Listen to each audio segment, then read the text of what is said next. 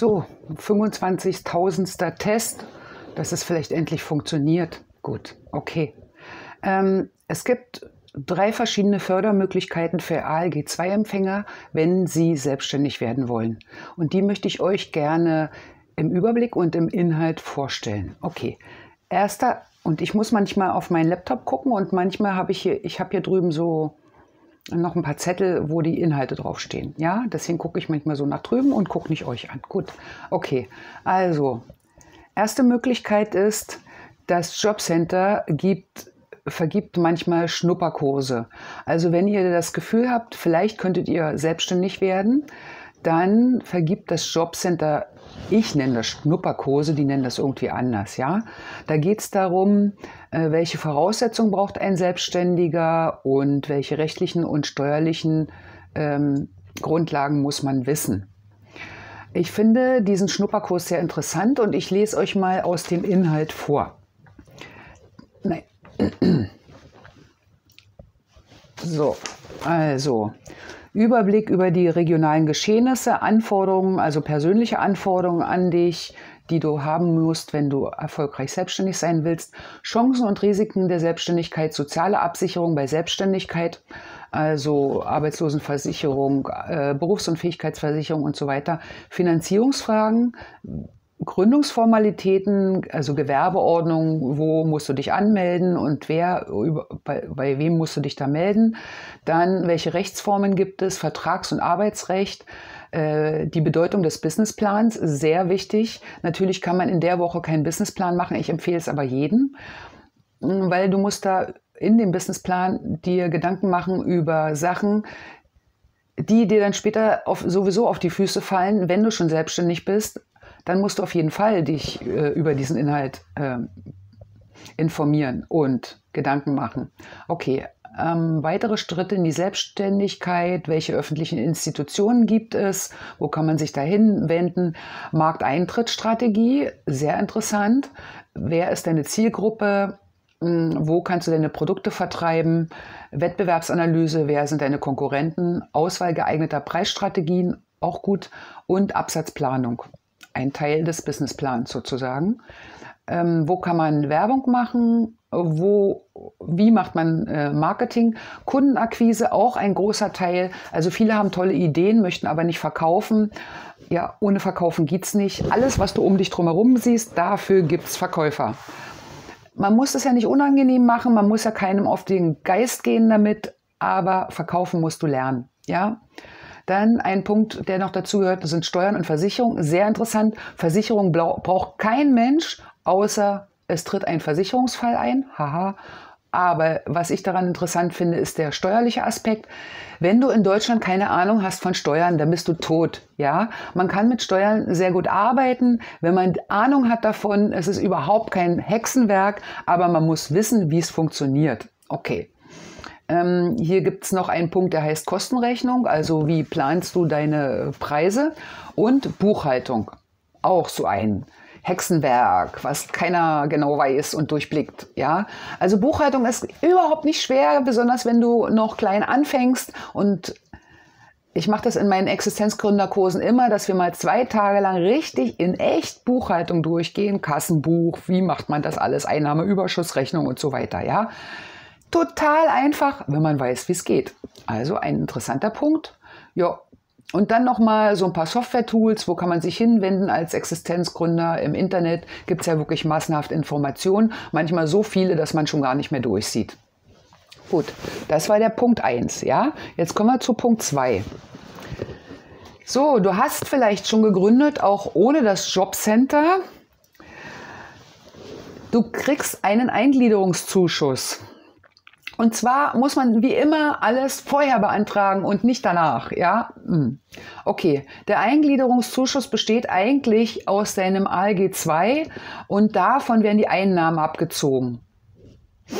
Ja, ich weiß, da kriegen manche so Angst, wenn sie sagen, okay, da muss ich ja immer mehr und mehr arbeiten und ähm, wenn ich dann irgendwann mal mich selbst ernähren kann, oh ja, dann fallen ja die ähm, Zuschüsse weg. Ja klar, das ist ja der Sinn.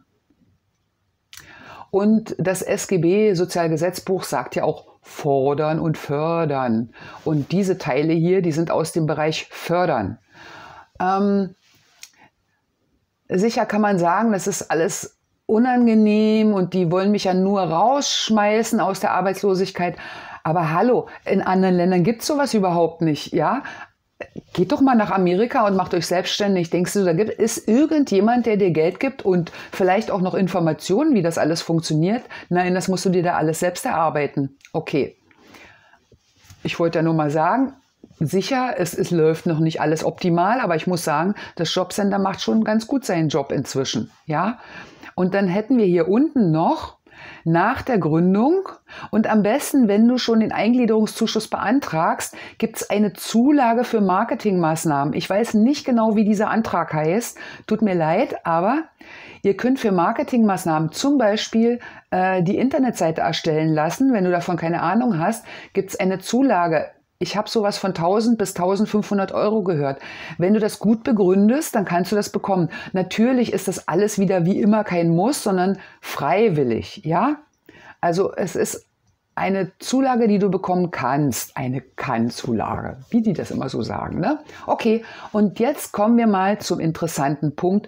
Wenn du schon selbstständig bist und noch ALG 2, also Wohngeld oder irgendwas dazu bekommst, dann gibt es inzwischen einen dreistufigen Coachingplan, einen Unternehmer-Coachingplan vom Jobcenter. Frag mal deinen Berater, vielleicht kriegst du den und vielleicht ist es interessant für dich. Und deswegen stelle ich dir den jetzt auch noch mal schnell vor. Ja, im ersten Teil, also der besteht aus drei Stufen, drei Stufen so. Ähm, erster Teil, zehn Stunden innerhalb von zwei Monaten. Da kommt ein Unternehmensberater und ihr macht eine Bestandsaufnahme und Analyse. Also wo stehst du jetzt? Was hast du bis jetzt gemacht? Äh, was ist gut gelaufen? Was ist schlecht gelaufen? Ähm, was, wo müsste man dich noch besser unterstützen? Also zehn Stunden gehen schnell vorbei. Nutzt das, weil Unternehmensberater kosten normalerweise sehr viel Geld. Die Stunde 80, 100 Euro, gar kein Ding. Ähm, und dann muss ich noch dazu sagen, die Unternehmensberater, die werden von dem Bildungsträger ausgesucht, also andersrum. Also das Jobcenter äh, sagt zu einem Bildungsträger, bitte macht diese, äh, organisiert diese Coachings, ja. Und der Bildungsträger, ihr werdet dann vom Jobcenter dahin geschickt, der Bildungsträger sucht dann Unternehmensberater. Und diese Unternehmensberater haben ganz bestimmte Voraussetzungen, sonst dürfen die das gar nicht machen. Also erstens brauchen die eine, einen pädagogischen Nachweis, einen pädagogischen Abschluss. Die brauchen ein betriebswirtschaftliches Studium und einen Hintergrund und Erfahrungen. Das heißt, äh, selbstständig sollten, sind sie sowieso, das muss ich noch dazu sagen, die sind nicht beim Arbeitsamt angestellt, also unabhängig vom Arbeitsamt. Und die müssen auch dem, beim Arbeitsamt nicht Speichel lecken. Allerdings müssen sie bei diesem Kurs hier ähm, äh, durchaus nachweisen, was sie da mit euch besprochen haben und ob es da eine Chance gibt, äh, die anderen beiden Module äh, noch weiter zu finanzieren. Ja. Manchmal muss man auch sagen, okay, das hat gar keinen Sinn, dann Ihr müsst es sowieso unterschreiben, was der da reinschreibt. Ja, also ihr seht das immer alles, was der Unternehmensberater ans äh, Jobcenter meldet, schriftlich. Gut. Ähm, also es sind keine Lehrer, die irgendwie vom Jobcenter angestellt sind, sondern tatsächlich echte Unternehmensberater. Gut.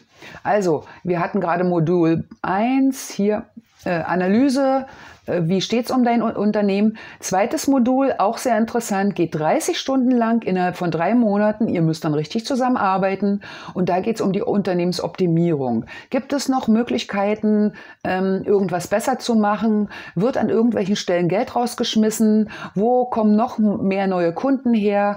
Ähm, äh, hast du dich vielleicht nicht richtig fokussiert oder äh, nicht richtig positioniert im Markt? Das sind alles so Fragen, die bei der Unternehmensoptimierung zum Tragen kommen.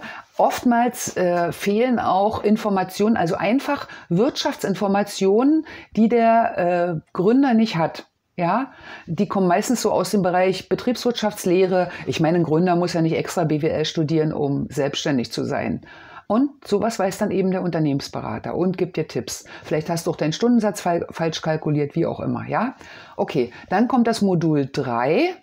Und das ist Neuausrichtung der Selbstständigkeit. Manchmal muss man leider sagen, okay, der Businessplan ist äh, zwar ein Plan, ein Blick in die Glaskugel, aber es läuft doch irgendwie ganz anders. Oder es kommen ganz andere Kunden, auf die ich gar nicht so richtig eingestellt bin, wo meine ganze Absatzpolitik überhaupt nicht stimmt. Und das macht das Modul 3. Ich bin nicht ganz sicher. Es glaube, ich glaube, es geht nur zehn Stunden. Ähm, ähm, ich muss aber auch sagen, es gibt einige Gründer, die zwar gegründet haben, noch ALG 2 bekommen und parallel dazu sich aber noch einen festen Job suchen. Also die sagen, okay, ich will nicht mehr ALG 2 bekommen, ähm, ich möchte gerne irgendwo Teilzeit arbeiten, aber trotzdem noch zuständig, äh, parallel dazu selbstständig sein. Und im Modul 2 und 3, äh, also im Modul 2 wird das schon herausgearbeitet manchmal, da kommt das schon selber bei dem ähm, Kochi und im Modul 3 kann man sowas aber auch nochmal begucken. Wie sieht das überhaupt aus? Was muss man da beim Finanzamt beachten und so weiter? So. Ähm, ihr, wenn euch der Unternehmensberater nicht gefällt, ihr da, da die, die Chemie irgendwie nicht stimmt, dann könnt ihr auch den Bildungsträger fragen, ob die vielleicht noch einen zweiten oder dritten im Petto haben. Hm, die haben, können manchmal auf einen Pool von Unternehmensberatern zurückgreifen. Ja, ich habe auch manchmal Coaches, die wollen nur mit Männern arbeiten. Es gibt welche, die wollen nur mit Frauen arbeiten. Hm, müsst ihr mal gucken. Also ihr seid nicht an diesen äh, Unternehmensberater gebunden, aber nutzt die Chance. Der hat unheimlich viel Erfahrung. Alles, ihr müsst nicht das Rad neu erfinden. Ja, okay. Also, das waren meine drei Tipps für die ALG-2-Empfänger. Was könnt ihr nutzen. Achso, nochmal dazu. Also all diese wunderbaren Sachen wie ähm, äh, Eingliederungshilfe oder Zulage zum, zur Existenzgründung, also Marketingplan, ja, das sind alles Sachen, die kriegt ihr unversteuert. Ja, das sind sozusagen Einnahmen, worauf ihr keine Einkommensteuer bezahlen müsst. Also versucht alles abzugreifen oder zu bekommen, was ihr kriegen könnt. Fragt euren Berater. Ich weiß nicht, ob alle Berater das wissen, aber die Möglichkeiten sind da. Nutzt sie. Und wenn euch dieses Video gefallen hat, dann bitte Daumen hoch, abonniert die Glocke, also so, dass es ein Klingelzeichen gibt, weil ich habe noch viele andere ähm, Tipps, die ich euch geben möchte, wenn ihr selbstständig seid oder wenn ihr vielleicht ähm, euch für Geldanlagen interessiert. Kann ja schon sein, dass so nach und nach schon Geld fließt. Also abonniert meinen Kanal. Ich melde mich immer wieder. Bis bald. Bleibt mutig.